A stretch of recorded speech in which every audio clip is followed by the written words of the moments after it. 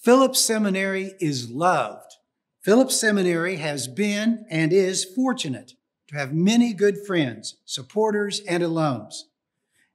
The Advancement Office has created two new annual awards as a method that not only identifies but also recognizes and celebrates the long history of giving and support for Phillips Seminary by individuals and congregations.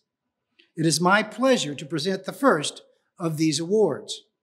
As we researched the data, we discovered one individual has been supporting Phillips Seminary consistently since 1969, 50 years.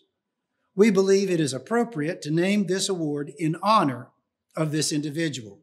Therefore, the first recipient of the Dr. Mary Ruth Bedford Award for Individual Giving is Dr. Mary Ruth Bedford. Dr. Bedford and her brother, Sidney Bedford Jr., were raised and supported in the disciples of Christ, following the beliefs of their parents, Reverend Sidney Bedford Sr. and Jenny Pearl Bedford. Mary Ruth and her brother Sid both attended Lynchburg College, now the University of Lynchburg, where their father taught religious courses. He also was the pastor of several Christian churches. However, Dr. Bedford transferred to and received her undergraduate degree from James Madison University. She has later received both a master's degree in institutional food service management and a PhD in adult education from Kansas State University.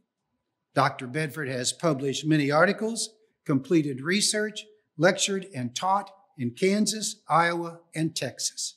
She currently lives in El Paso, Texas. On behalf of the president, the trustees, the faculty, staff, and students of Phillips Seminary, it is my pleasure to congratulate Dr. Mary Ruth Bedford as the first recipient of this award and for her example. Please visit the Advancement Office vendor booth to read more about Dr. Bedford.